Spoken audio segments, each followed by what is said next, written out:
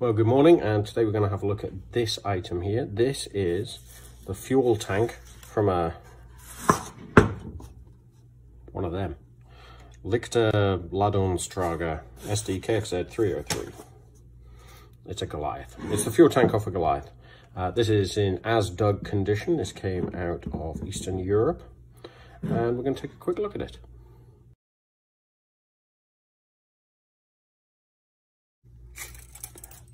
So there's going to be some bits maybe flake off just because it's in such poor condition despite attempts to put some stabilizer on the rust.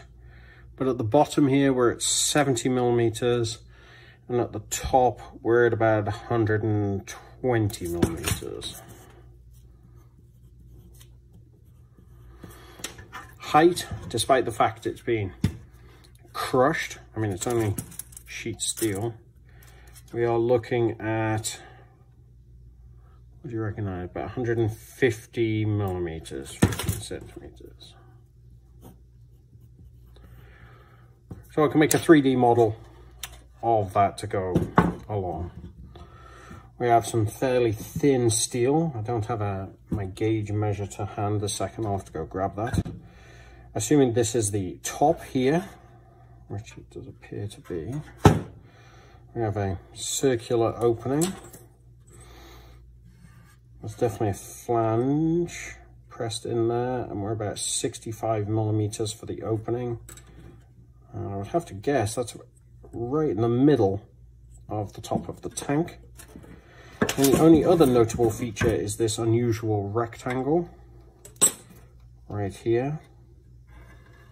The side of it is actually on this piece of steel. You can see it's being blasted open from when the vehicle detonated was blown up.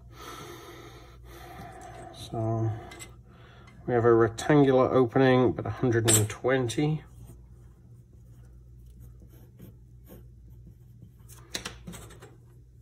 By, oh goodness me, uh, that's definitely not 30. I say 28.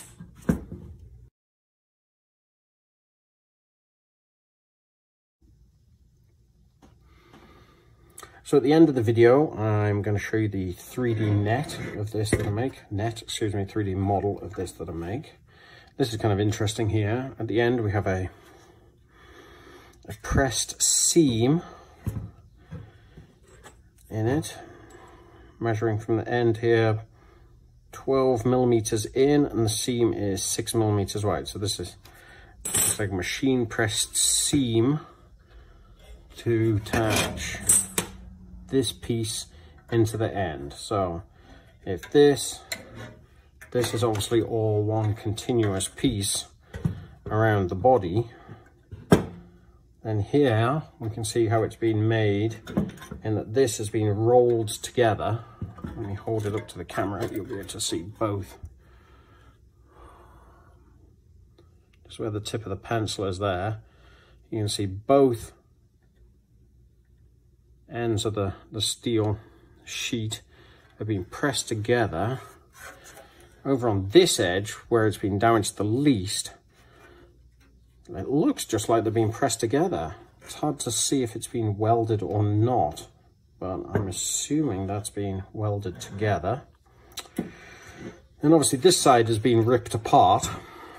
So that gives us a, a look inside here. And that unusual seam that we saw before indicates that this is all made out of one piece of steel. So on this side here, I'll have one piece of steel coming round and then we've got to decide where the seam, oh, and look, there it is. There's the seam right there.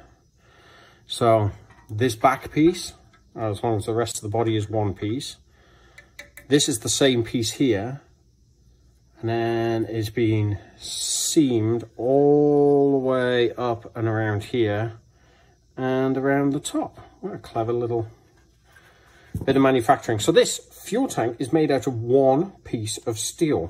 Um, one has to assume that this uh, feature and this feature were stamped out of it prior to it going into the machine being folded and being seamed. Unfortunately, I'm missing this section of the fuel tank, so we'll have to turn to um, historical drawings, etc. to discern what that is. In terms of attachment, how this was attached into the vehicle, uh, just going off camera there, this whole side here has been uh, removed in the original explosion and through rust. This side, however, remains intact. This is obviously not the same piece of steel, but we have a very simple metal flange welded on with a nut and bolt arrangement. And just looking at the washer there, that, that's a spring washer that's rusted in. So, as I said, this is in the non-restorable category.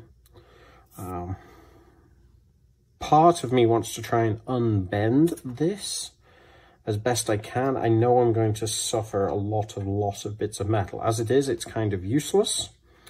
We can get the measurements from it, and then we can make a new one. Uh, at the end of this video, I will post you a link of what I believe this looks like, minus this area, which I have to just assume is uh, solid at the moment. Thank you very much. Well, that's it for now. I hope you found this uh, look at a rather minor part of a vehicle quite interesting. If this works, I'll be doing more of these and we'll be modelling parts of my Goliath one piece at a time.